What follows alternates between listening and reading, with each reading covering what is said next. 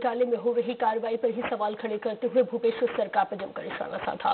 उन्होंने कहा है कि छत्तीसगढ़ में अपराधियों को गवाह बनाने की नई परंपरा आई है, जो देश में ही नहीं, बल्कि दुनिया में भी लिखा जाएगा। उन्होंने कहा है कि प्रदेश में आरोपियों को डरा, धमकाकर गवाह बनाया जा रहा है, जो मुख्य अभियुक्त है, जो चार साल की सजा पा चुके हैं, उसे सरकारी गवाह बनाया जा रहा है।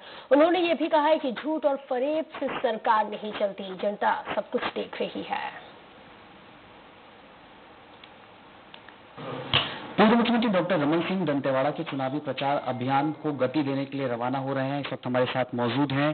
सर क्या उम्मीदें हैं दंतेवाड़ा चुनाव को लेकर? अब आप खुद कमान संभालने के लिए दंतेवाड़ा जा रहे हैं। दंतेवाड़ा जाना मुश्किल होता था। जगदलपुर से आ, निकले तो दंतेवाड़ा पहुँचना मुश्किल था। अंदर जाने की बात ही अलग थी।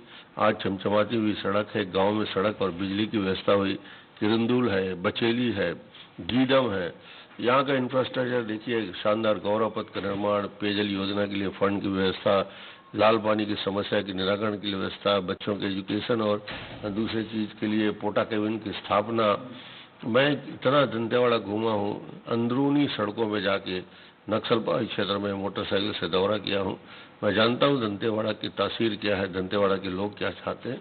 और जनता इस बार फिर भारतीय जनता पार्टी को शेष कार्यकाल के लिए जिताएगी। पूर्व मंत्री डॉक्टर रमन सिंह दंतेवाड़ा के इलेक्शन कैंपेनिंग के लिए रवाना हो रहे हैं और जिस तरीके से इलेक्शन के चुनाव के दंगल में तमाम आरोप प्रत्यारोप का दौर चल रहा है, बीजेपी का ये मानना है, ये कहना है कि दंतेवाड़ा जो सीट है, बीजेपी अपने डेवलपमेंट के मुद्दे पर चुनाव लड़ेगी और चुनाव जीतेगी। हालाँकि तमाम एलिगेशन का दौर भी इस बीच लगातार जारी है।